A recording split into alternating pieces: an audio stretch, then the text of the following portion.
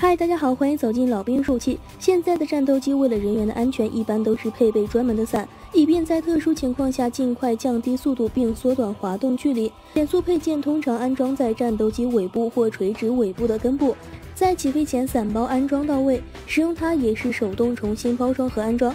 事实上，不仅战斗机上的伞是这样的，伞兵的单伞兵、空投降落伞、特殊飞行伞等，一般也是手动包装和安装。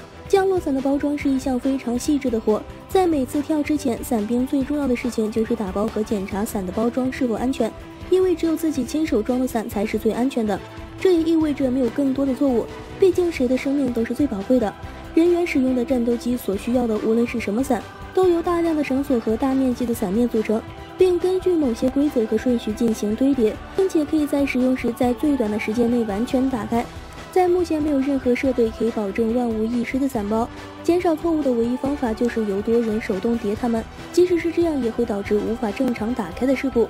关于降落伞的质量，也有一个非常有名的故事。据说在早期阶段大战中，美国负责生产降落伞的生产率是百分之九十九点九，军方要求必须达到百分之一百，制造商认为百分之九十九点九足够高，无需改进。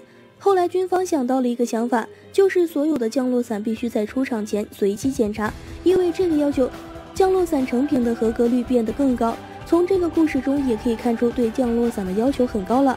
对于伞兵来说，伞兵本身就是如此的高危军种，如果降落伞的质量出问题，那就更加没天理了。对于战斗机来说，减速伞也是如此，如果质量太差或者需要减速时减速伞没有打开。可能会导致战斗机从跑道滑落，甚至撞到障碍物。这不仅会导致重大损失，飞行员也会受伤害。因此，在国家空军中，通常有专门的整理部门，其任务重要性不低于负责维护战斗机的部门。毕竟，无论对于什么来说，人的生命才是最重要的。好了，今天就为大家介绍到这里。视频素材来源于网络，由老兵受气剪辑完成。我们下期再见。